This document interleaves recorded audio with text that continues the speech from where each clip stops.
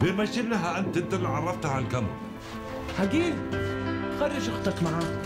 الله انا لازم اصير اصور